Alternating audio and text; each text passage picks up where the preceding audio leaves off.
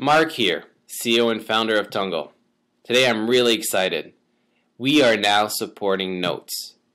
We've been working with the folks from IBM for the past year to get this to you. Uh, so now we're supporting 99% of all business calendars used by professionals all around the world. So that includes Outlook with or without Exchange, Google Calendar, Mac iCal and Entourage, and now Notes.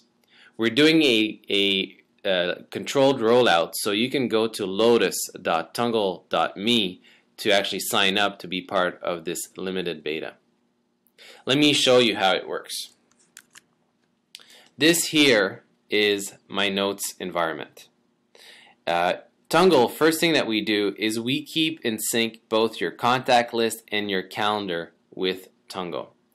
So if I go to Tungle right now, which by the way, Notes allows you to see it within the environment of Notes, so you don't need to open up a new browser and so on, you can see that my calendar and contact list is perfectly in sync with my Notes calendar and contact. But what's the beauty of having Tungle within your environment is that you can also share calendars with people inside and outside your office no matter which calendar application they're using. So for example, Jaku here is sharing the detail of his calendar with me and he could have been sharing only his free busy. Uh, but he's on Google Calendar and the other person could have been on Outlook and so on and so forth. Now, what about scheduling that important meeting, which is what Tungle really does?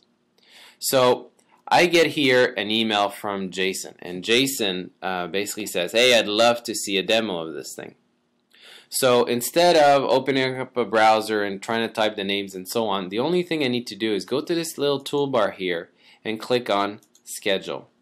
So what it does, it opens a Tungle window and pre-populates it with the subject and the people that were included in the email.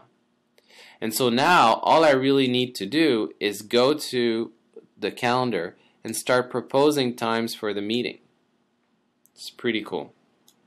So now uh, I can get a meeting link or uh, send it now and then the meeting gets booked. So that's about it. So give it a try. Let us know how it goes. Uh, we're always hungry for your feedback.